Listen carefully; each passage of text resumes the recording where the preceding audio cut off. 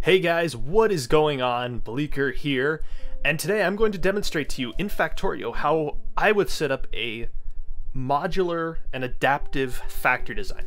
Now what do I mean by, by modular and adaptive? Well, that's very simple. Let's say you set up two of these assembly machines, and you realize, oh wait, I don't have enough production coming out of these two assembly machines to actually supply my factory then all of a sudden you get into I've just been bottlenecked there, I've been bottlenecked here, I literally don't have the room to do it. Well, after I show you this, hopefully I'll kind of send you on your way. Now, this is kind of a design that I have options sound down. There we go. Now, this is kind of a design that I worked on for uh, a couple minutes before I finally clicked. Um, what a lot of people don't know about me is in uh, in real life, I'm actually what you would consider a um, a controls engineer is the most apt description of something that I come up with. So what do I do? I make sure that um, factories per se um, run more efficiently in short terms. I actually specialize with automation equipment. So let me kind of show you one of my designs here. Let's take something um, hmm, fairly simple here. We'll ignore most of this. We'll come over here to the gear factory. Now, as you can see, this, this isn't the gear factory. Where the hell do I have the gear factory? Here it is, over here. No, that's not it. Where do I have my gears coming in? Ah, right here. Here's my gear, the gear producing portion of my factory. Now, it looks kind of confusing, but I'll kind of walk you through it. So how to make a gear is we bring in one iron, which I have supplying here. It comes up, and then is uh, carried down these um, transport belts, picked up by the fast inserters, created, and then dropped over. Now, what makes this adaptive is say, oh, let's say you only have four of these. Well, even if if you don't block your part, the upper parts, you can very, very easily expand. Let's kind of demonstrate to you how to make one of these. So we'll use the example of uh, what's a pretty good, easy item for me to kind of demonstrate on, something simple to make here. I don't like stone furnaces. Something logistically should not be hard. Ah, transport belt. That's a good one. So it takes an iron, one iron plate, and one iron gear. So we're just going to kind of simulate this here. So you have your iron coming up here. All right, I'm doing this right. So you have iron coming up here. What you would do is you take two. I like to do this in groups of two, so when you actually cover it in power, Actually, I prefer to use big electric poles, but I like to do this in groups of two. Because it should, for the most part, meet all of your demands. If not, you can always plug power in over there. So you would set this for um, the iron gears. So you'd very quickly set that for iron gears. And then... Now what I do here is I hold shift, right click, and paste. Or just shift and left click, and that configures the design in there. So what happens is we take, oh, I only want one, and I'm kind of a stickler for some symmetry, so I'm just going to kind of stick this in the middle. So our iron would come down here, so that's the only ingredient that we need, and iron wheels would come out.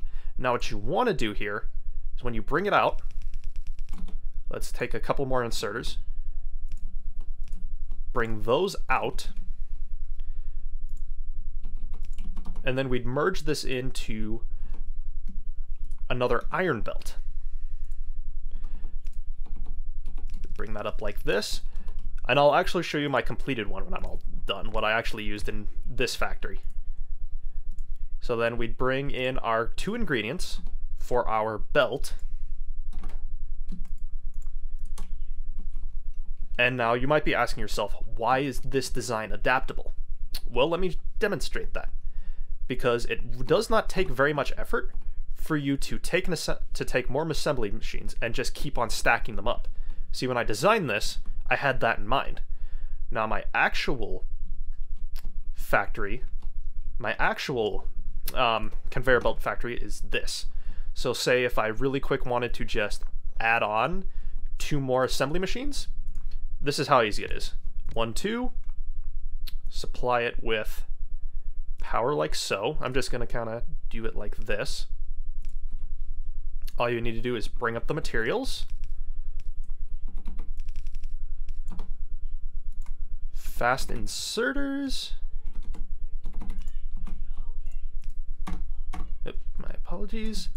Copy over the design and boom, you just increased the your factory's capacity to actually make inserters.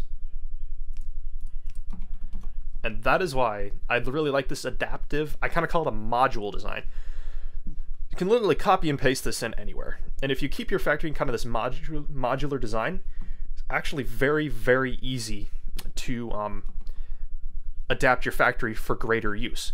So eventually what you're ultimately going to be limited by is how much you're actually able to produce on the, your um, how much raw iron you're actually able to consume and produce into iron plates. Um, hmm, anything else I should cover to let you guys in on secrets? So that's my completely, and that right there is my adaptable factory design. Now you can pretty much bring that in on any design. So like for instance, um, splitters. I bring in, if I wanted to add in more, I did kind of bottleneck myself on this one, and I will admit that this is kind of a poor example. But say these um, actual these inserters? I can't remember names for some reason today.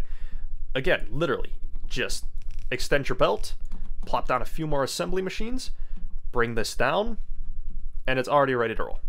And I even did the same thing here with this. This is the same. These are the same. Very easy. Like I said, it's a completely adaptable system.